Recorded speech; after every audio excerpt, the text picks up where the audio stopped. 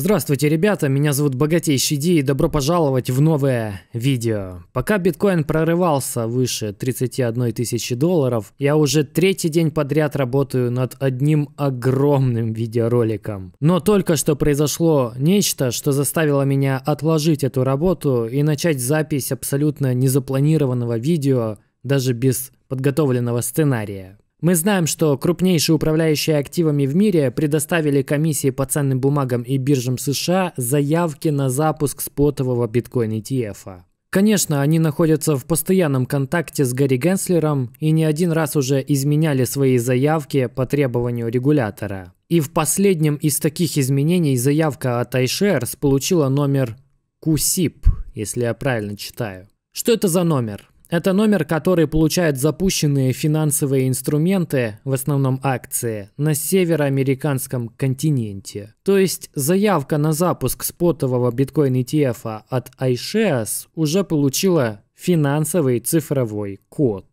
Это же просто вау. Но дальше еще вкуснее.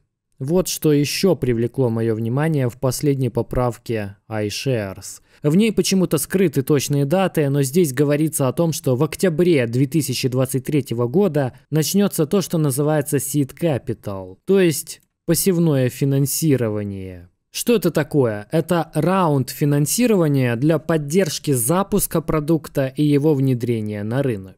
Кроме iShares и в недавней поправке в заявке на запуск спотового биткоин ETF от BlackRock написано о пассивном финансировании этого биржевого продукта в октябре 2023, то есть прямо сейчас. Пассивное финансирование для ETF – это когда первоначальное финансирование предоставляется обычно банкам или брокерам-дилерам, а в нашем случае управляющим активами BlackRock, iShares, Fidelity и другими. Это финансирование предоставляется на покупку нескольких единиц созданий, которые называют Creation Units.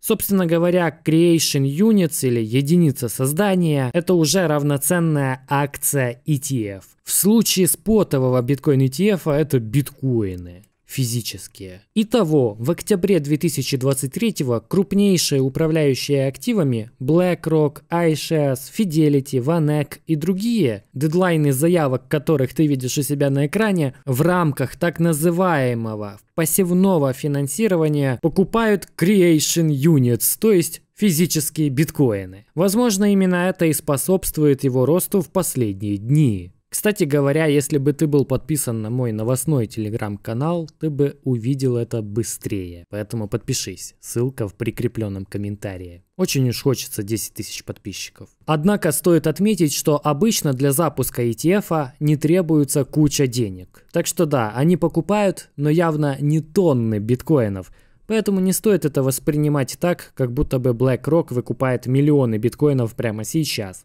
Но происходящие события, конечно, показывают нам, что совершен еще один шаг по направлению к запуску биткоин ETF. Ну а теперь я хочу рассказать тебе о возможном сценарии для цены биткоина в ближайшие 100-180 дней. Это скидка на биткоин продукт от Grayscale. Чем она больше, тем ниже спрос инвесторов. Если же GBTC и вовсе торгуется с премией, то спрос зашкаливает. Процесс уменьшения этой скидки означает процесс роста спроса на биткоин. Так вот, скидка на GBTC, биткоин-продукт от Grayscale, значительно сократилась. С минус 50% в июне до минус 10% сейчас, поскольку надежды на запуск биткоин ETF продолжают расти. Также инвесторы верят, что биткоин Trust Grayscale будет преобразован в спотовый биткоин ETF.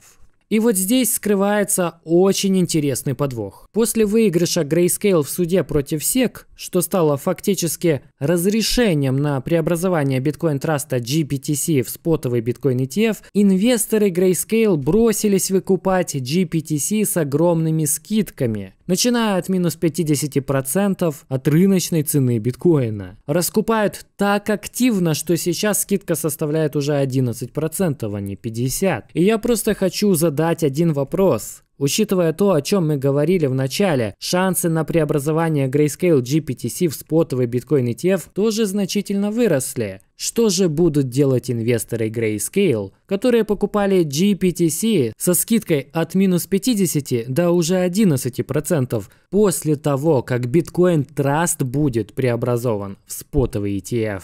Например, рыночная цена биткоина составляла 18 тысяч долларов, но инвестор купил его с дисконтом в 50% за 9 тысяч долларов. А на момент разрешения SEC на преобразование GPTC в спотовый биткоин ETF, цена биткоина будет, например, 40 тысяч долларов. То есть доход будет около 344%. Зафиксирует ли этот инвестор свою прибыль? А у Grayscale, на минуточку, 643 572 биткоина призрак того самого финального краха цены биткоина перед тем, как перейти к настоящему булрану с достижением нового исторического пика. Очень похоже на то.